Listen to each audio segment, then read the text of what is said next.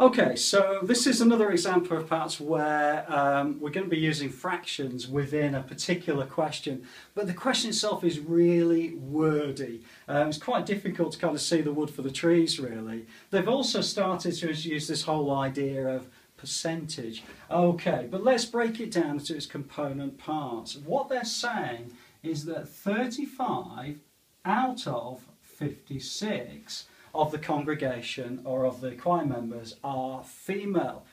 Excellent, we can do that because we know that we can use this whole idea of equivalent fractions to reduce these numbers down a little bit. So remember right in the beginning of when we started the course we said this line here means out of. So we can use the English of this particular word problem and start to then produce something that is a bit more mathematically familiar.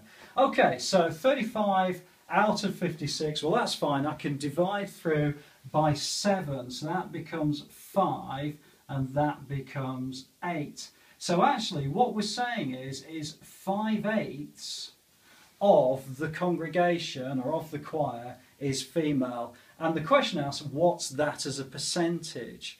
Well, 5 eighths is um, the same as saying 5 eighths of a hundred. Okay, so in other words, percent means out of a hundred. So it's what part of a hundred is 5 eighths. Does that make sense? I hope that's okay for you. Um, it's one of the things that percentages, decimals and fractions are very much interchangeable. But remember, 100% means one. It means one whole one. It means everything there is is 100%. So 50% is half of that, which means a half, or 25% is a quarter of that, which means a quarter. So what we're saying is, is that it's 5 eighths of the 100. Okay. So I can use now equivalent fractions to reduce this a little bit further. So if I divide the top and bottom by 2, I get 4 over 50, or 50 over 4.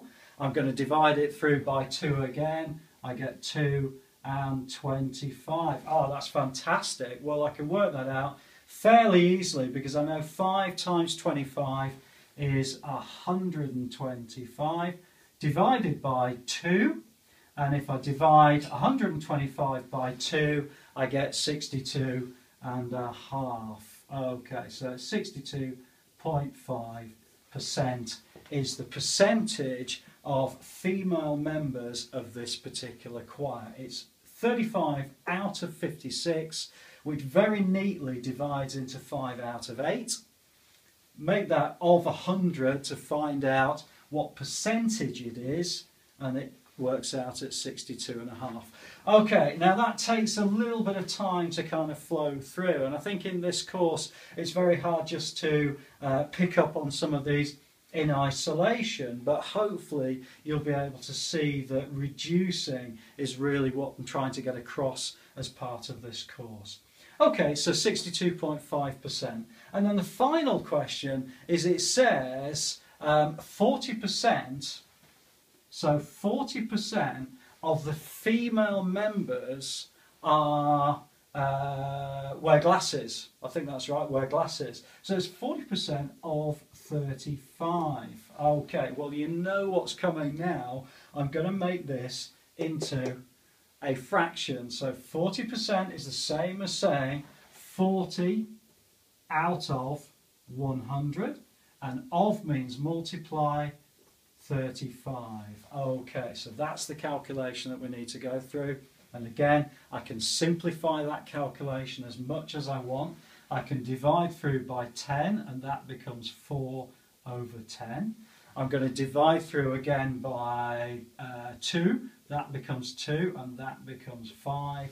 I'm going to divide through again, that becomes 1 and that becomes 7. So my calculation is 2 times 7 which is 14. Okay, so 14 of the members of the congregation wear glasses. So I've now got 14 out of the 56 members of the congregation. So I've got 14 out of 56 Okay, I'm going to reduce that through, and if I divide through by 7, it becomes 2 over 8. If I divide through by 2 again, it becomes 1 quarter. So it's actually 1 quarter of the members of the calculation of the uh, congregation of the choir wear glasses. Again, I hope that's okay for you. This has become, if I divide that through by 7, it becomes 2 over 8, and that becomes 1 over 4.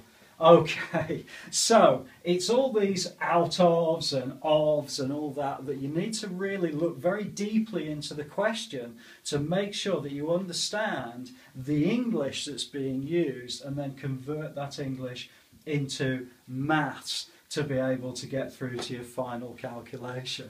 Okay, now we are coming towards the end of this particular course with these sorts of questions are becoming a little bit tricky, but I might uh, have a look at uh, putting together a few more videos just to give you a few more examples of how this works, but I hope now you're beginning to get up to speed with how we can reduce these calculations to make them a little bit easier for ourselves.